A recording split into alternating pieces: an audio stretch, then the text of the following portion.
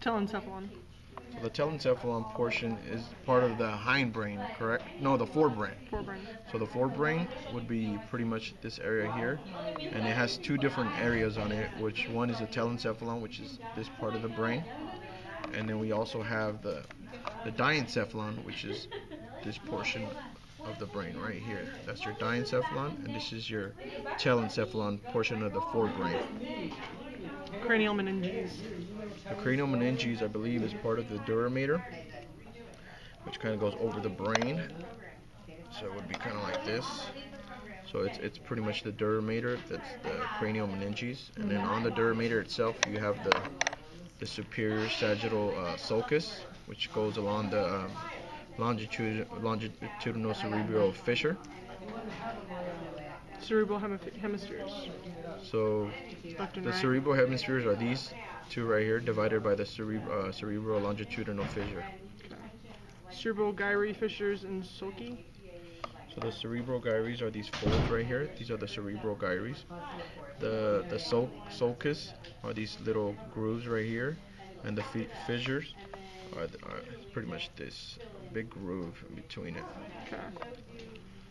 Um, you already did the longitudinal cerebral fissure, lateral sulcus, and the central sulcus. No, I haven't done the No. lateral sulcus. So the lateral sulcus, it's not really defined that well here, but it would be like this portion of it right here. That would be like your lateral sulcus, dividing your your uh, frontal frontal lobe from your- your temporal lobe and the and the parietal lobe. So it kind of goes like this. That'll be your lateral uh, sulcus. Kind of where your um, temporal. Yeah, pretty much outlining your that in a minute. temporal temporal lobe of the brain. Okay.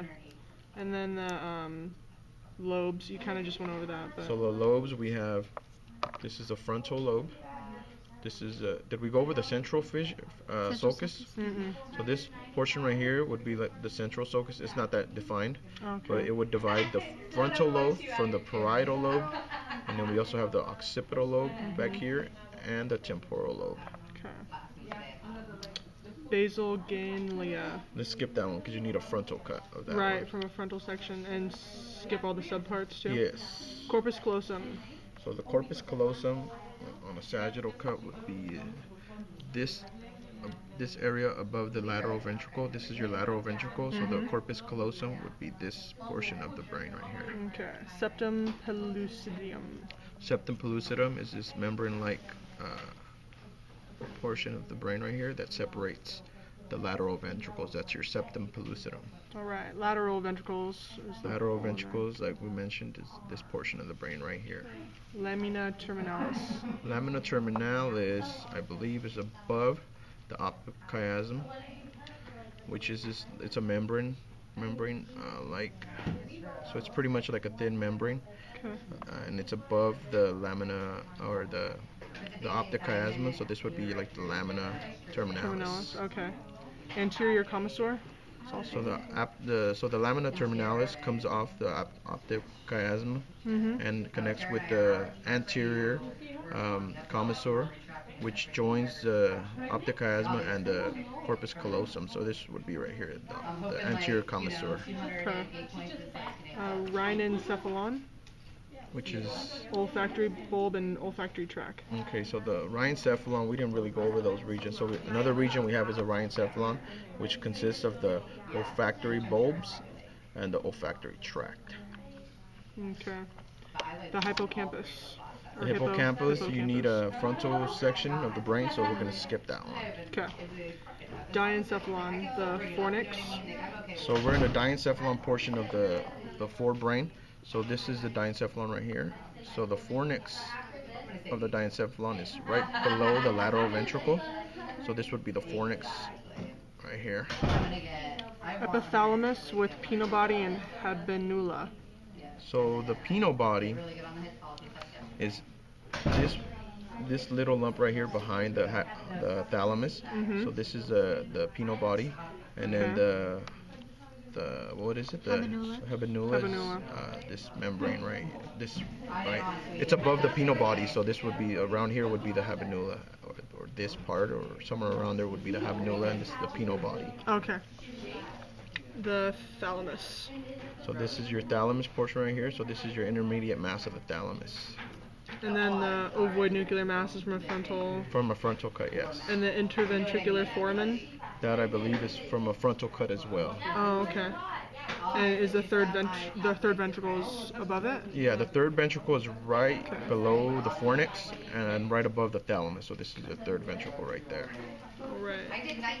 The hypothalamus. The hypothalamus is right below the, the thalamus. Maybe I Mhm. should do this.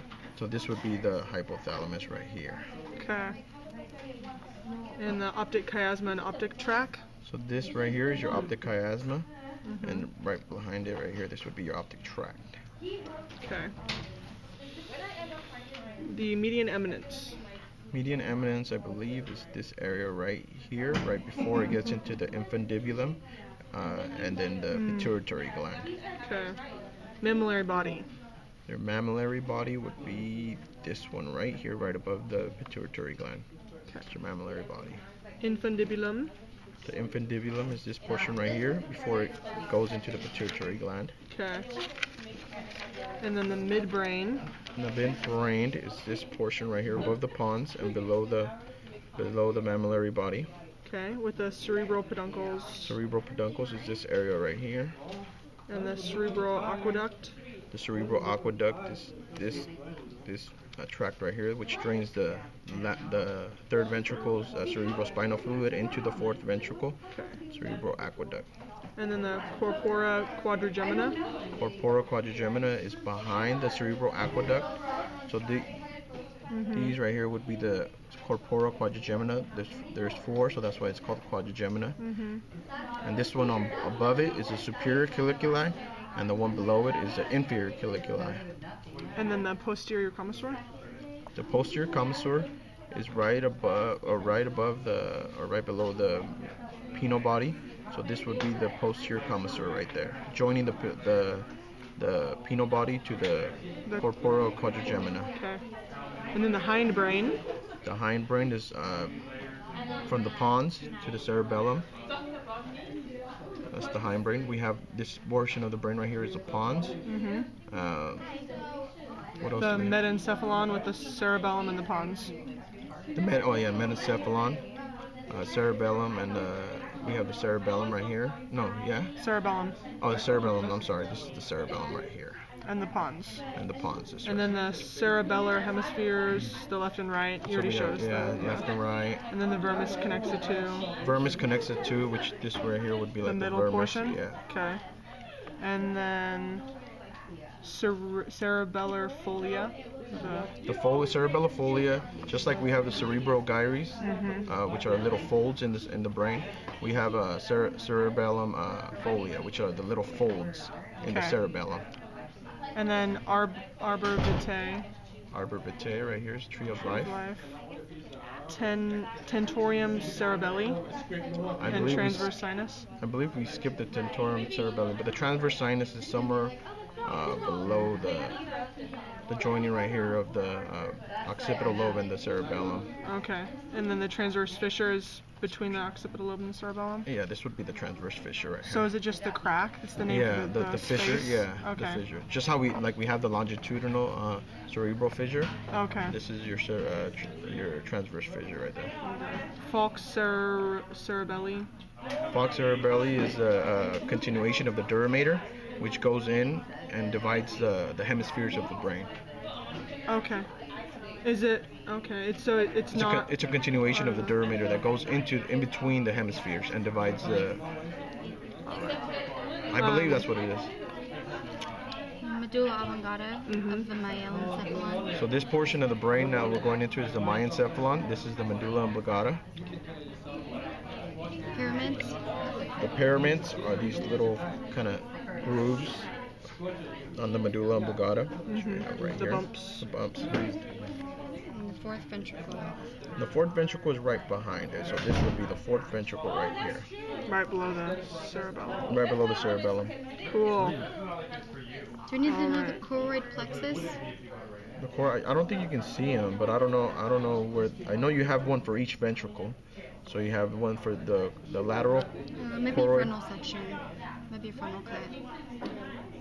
Well, I know you can you can see there each ventricle has them. So Each ventricle has a choroid plexus. yeah, And what's the cerebral arterial circle of Willis? that's a that's a group of uh, arteries that kind of meet up meet up in the brain and kind of do a circle before they start branching out into the posterior, anterior, and uh, medial arteries. Okay. The bas- basilar and internal carotid. Okay, so those are all just. How would he test us on those physically? He'd probably just have a like a sheet. We need to identify them. Okay. All right. Thanks, YouTube Luis. that?